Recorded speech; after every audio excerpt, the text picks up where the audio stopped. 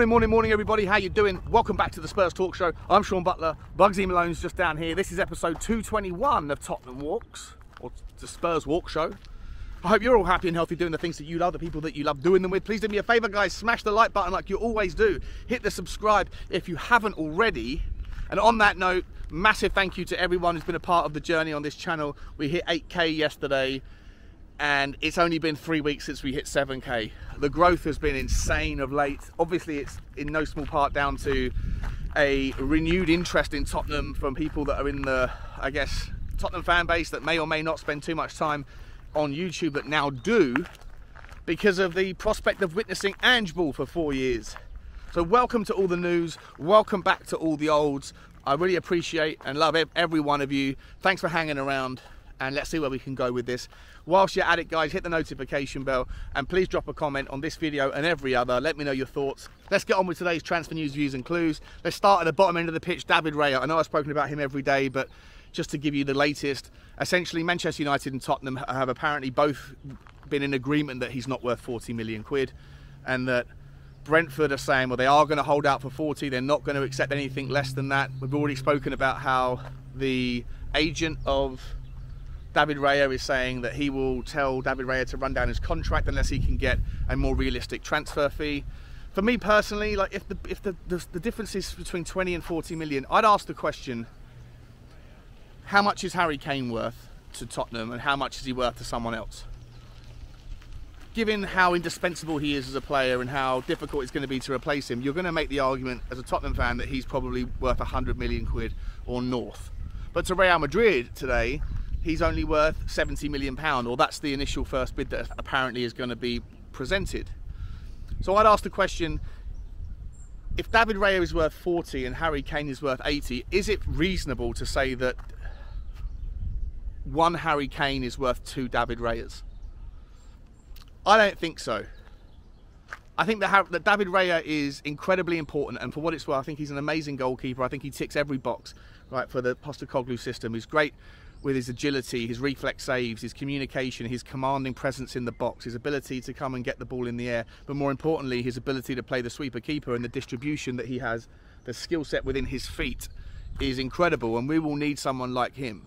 To me, £40 million for such a key cog is not that eye watering, it's not that much money. Thomas Frank said the only reason he's worth 40 is because his contract is running down and that if he had a longer on his contract, he would be worth 70 million. And he uses Kepa as the example. He said, How much did Kepa cost? Right? He thinks that David Raya is at least as good as Kepa, and I take the point. But the reality is that the contract is where it is. And if Harry Kane is only worth 100 million quid, with all of the goals that he can score and all of the value that he can provide, you have to make the, the, the judgment of whether or not David Raya's value is relatively correct at 40 million pound and I'm not sure where the the truth is because I do look at how many mistakes Hugo Lloris made last year, how many points that they probably cost us, and I think that if you have David Raya in goal, how many points do we not lose? How many goals do we not concede? And I land somewhere on the point that I don't. He's probably if Harry Kane probably is worth 100, maybe David Raya isn't worth 40. Maybe he's worth 30. Maybe I'm kind of leaning into the common sense or the logic of what both Manchester United and Tottenham agree that on the valuation of. However, when you look at how many clubs are probably going to be interested in David Raya, I think sometimes you've got to see the wood for the trees. Keep your eye on the bigger picture and rather than getting lost in the minutiae. And to me, David Raya is so important. So even if he's not worth 40 million pound relative to the transfer market, relative to people like Harry Kane, when you think about what he'll go for. At the end of the day, we need someone like him. He is available for a specific fee, and you can't always get what you want at the correct valuation. Sometimes you just have to pay a little bit more to get it done and to make sure that you are not gazumped by one of your competition. So even if he's not worth 40, I implore Daniel Levy to pay it, pay what's necessary, get it done early because then we can move up the field and focus on the other areas that are just as important and that take up just as much time to get these deals done. Hanging around and pissing around over negotiations over a couple of million can end up wasting time, which means you end up losing out on players that are also necessary to make this jigsaw work. So let's move up the pitch now. No news today on any defenders that I can talk about, so we're going to skip the defenders, we're going to skip the DMs, and we're going to move up to the attacking midfielder role and the forward line. A few stories here, just quickly. Giovanni Lo Celso has apparently told his agent to tell Tottenham Hotspur he has no interest in coming back to Tottenham. He doesn't want to come to Tottenham. He either wants to transfer away somewhere else or stay in Spain. To me, either event is fine. There is also news that Monchi, the Seville director of football that we mentioned yesterday, that was linked to Tottenham, well, this morning there are strong links, stronger links, and it makes a bit more sense for me, this one, for him to join Unai Emery at Aston Villa. So there's a bit of a Spanish armada happening over in Birmingham at the moment. And if Monchi does join um, Aston Villa, then I, I would hazard a guess that it would make a lot of sense, a lot more sense for Giovanni Lo Celso to potentially go to Aston Villa and join up with Unai Emery um, because I believe, I'm not sure, I could be wrong about this, but I believe I read somewhere a couple of days ago that Giovanni Lo Celso's agent is the same agent as Monchi from Seville, the director of football. So maybe, just maybe, there is logic to that and method to that madness, and it would be not something that I'd have any problem with. I know usually we don't like the idea of selling our players to rivals, and I guess you would consider Aston Villa a rival and something like on a similar kind of playing field to Tottenham at the moment. But in the case of Lo Celso, I just don't particularly see the value in him. I don't particularly see his style of football suiting the Premier League. But if Unai Emery does, and Monchi was to go to to Villa, and they could make that kind of happen and pull the strings, utilising their various relationships, then that's fine with me. Get him out the way. Try and bring in 15 million quid or something. Put that towards the transfer budget. The next story is Manor Solomon, Shakhtar Donetsk, inside forward currently plying his trade. Morning, guys. Currently plying his trade at Fulham, and he's been on a loan, but he's still technically employed by Shakhtar Donetsk. But of course, with the FIFA and UEFA rules, I'm not sure if it was FIFA or UEFA that made this rules, but they put in the stipulation that because of what's happening in the Ukraine, that any player that plays for Shakhtar Donetsk or any other Ukrainian club, I believe, can uh, once again leave leave their Ukrainian clubs on a free and sign with any club they want. Manor Solomon's been linked with Tottenham and the story is that the Shakhtar Donetsk owner or the chairman has come out and said if Manor Solomon signs for Tottenham then he will sue Tottenham.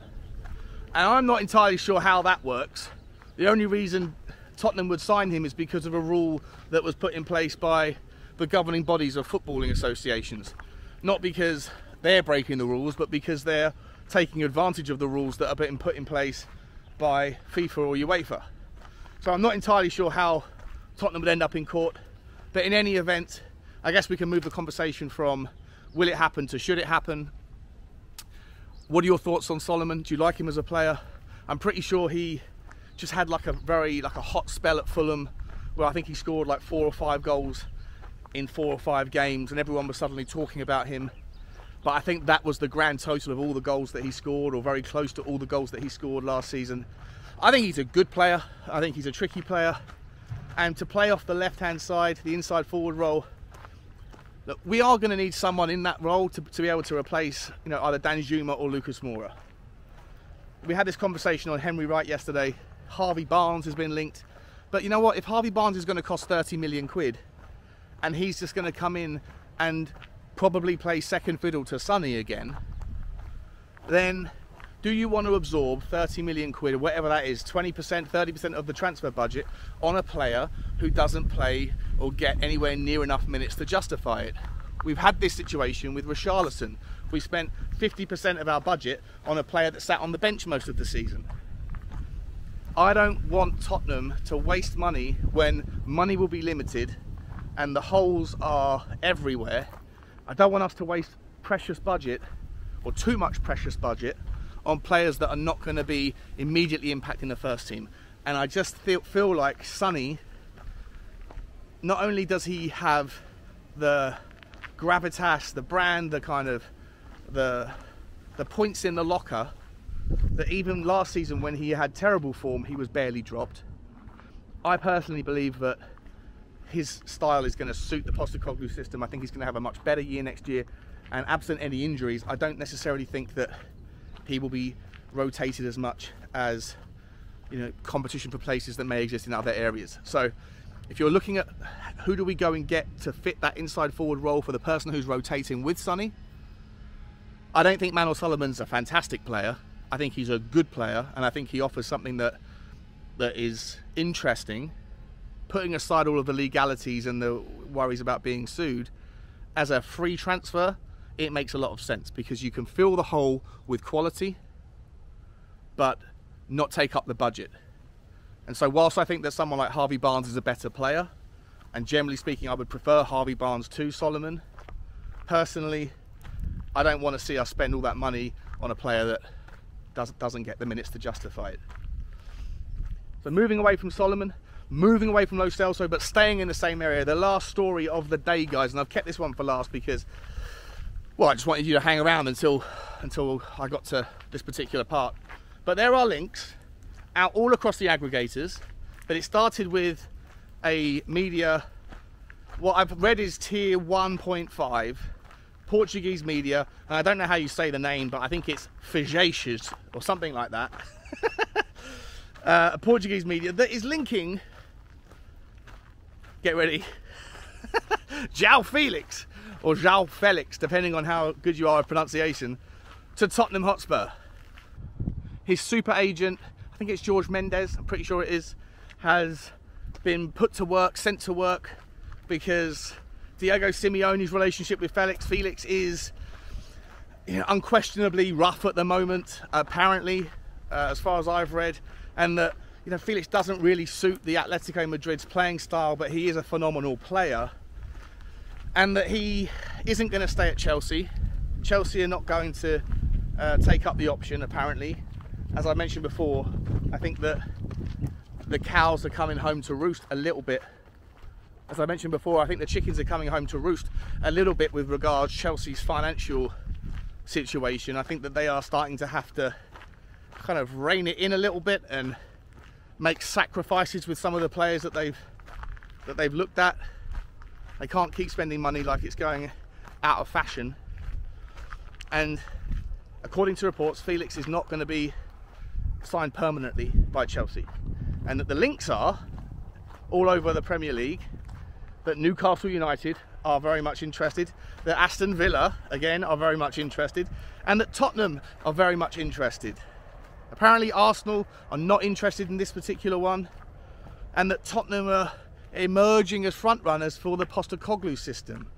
Now, João Felix, for me, obviously, we know he's a phenomenal player, an absolutely phenomenal player. The talent in this guy's feet, his footwork, his creativity, his passing range is sublime. I don't think he really hit the ground running at Chelsea, but I don't think anybody's really hit the ground running at Chelsea.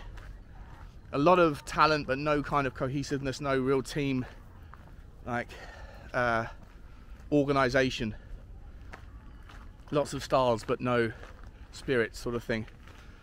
But at Tottenham, do I see it? Do I see it fitting? Look, I think there's lots of problems with it. First and foremost, he absolutely could fit into the half space, right? He could fit into that into that that role that Reo Hatate plays. He could even fit in the role that is played by Matt O'Riley at Celtic. You know, either one of those two number eights. You could even make the argument if Harry Kane was to leave that he could sit in the nine. But again, I don't think the nine is best served. If you want to emulate Chelsea's uh, Celtic system to a T, then whoever sits in the nine is again, like I say, a sacrificial lamb a lot of the time in build up. And I don't necessarily know if you want to have a player like Harry Kane or João Felix who is that good, but is that is not utilised for all of their gifts, like the number nine, how the number nine is used uh, in a Postecoglou system at Celtic. he can fit in a half space. Look, the problem with the idea for me is the cost. I think he's on 260, 250 grand a week. He would immediately come in as the highest earner in the club. I think Harry Kane's on 250, so I think it would be about the same. And of course the fee, how much would the fee be? Well, 60 million, 70 million might be, morning guys, 60, 70 million might be the touted fee, which is a cut price from what Atletico Madrid paid for him just a couple of years ago. But I think when you also include the fact that George Mendes is involved, he'll want his slice, and his slice is usually incredibly juicy. So, to be entirely honest, if there's rumours that he's going to stay in the Premier League, the chances of him coming to Tottenham, I put the story at a 2 out of 10. I just don't think Tottenham are going to be going out and buying marquee signings quite like that. I would love it if it was possible, if it was plausible. Maybe that would be the way. The only other part of the story that I guess you could see happening is if Harry Kane is sold to Real Madrid, is that a way that Tottenham would then pivot and go and try and replace Harry Kane with a marquee signing like him? But in all honesty, if he's going to go anywhere in the Premier League, I think when you hear Eddie Howe saying things like he's going to make three marquee signings this summer, and he actually used the word marquee, who does that unless they're confident they're going to get some big names in that will be overly unnecessarily exciting the Newcastle fans? And maybe someone like João Felix will be a perfect fit for an Eddie Howe system that needs to now be kind of merged and, and pivoted and then kicked on to hit those next levels that they want to hit. So I don't think João Felix is particularly likely, but it's out there in the mainstream media, and allegedly Fajacius is a, a, you know a very decent top tier candidate in in Portuguese media. So I thought I'd bring it to your attention let me know your thoughts guys. That is it from me. Like subscribe and comment. And as always bye bye